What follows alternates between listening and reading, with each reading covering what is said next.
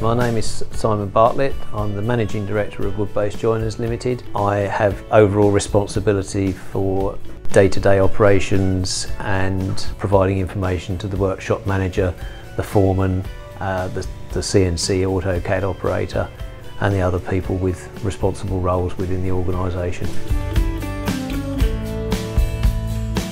We've got 7,500 square foot in this main unit and another small satellite unit of 900 square feet which is nearby on the same site. We specialise in solid timber joinery, doors, windows and staircases with other as aspects of architectural joinery, mouldings. We use conventional machines for some things but increasingly, particularly since we've um, uh, added the ultimate package to the uh, to AlphaCam. I'm pushing to get more and more components and parts of the different jobs created on the router just for, for the for the time saving, the precision and the repeatability that it offers. Everybody coming through in the last in the in the more recent generations is uh, yes, they, they're guided towards modern practices, which obviously will include AlphaCam.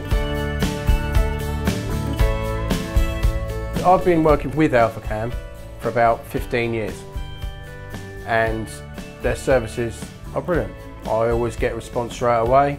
If I don't, they phone me and tell me I'm dealing with it. I'll get back to you. I have no qualms about their services whatsoever. I had an issue this morning, sent it off within 20 minutes. Darren got back to me, sorted the issue out straight away. So basically I built the whole library with the tooling that we use here as well as the ironmongery, hinges, multi-locks and then basically built the parametric library from doors and it's a godsend. It makes life so much easier.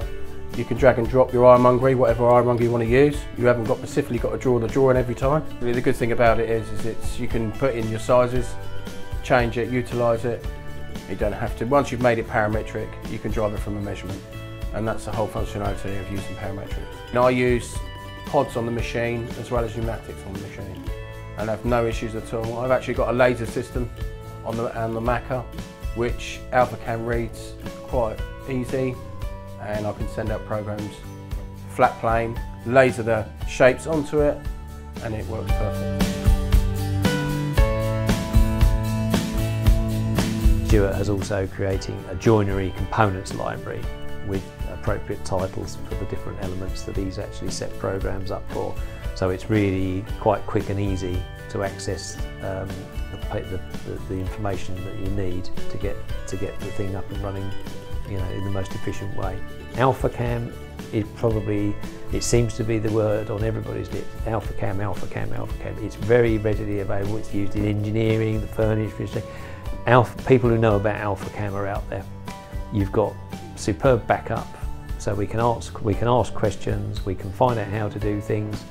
Um, the guys who've done the training, including me, have all found it relatively logical and easy to pick up, um, and those who've got the opportunity to practice with it very quickly get fluent. AlphaCam is, oh, that'll be easy, we can do it on the router. That's the bit that really clinches it for me. On the machine using AlphaCam, it will be exactly as expected.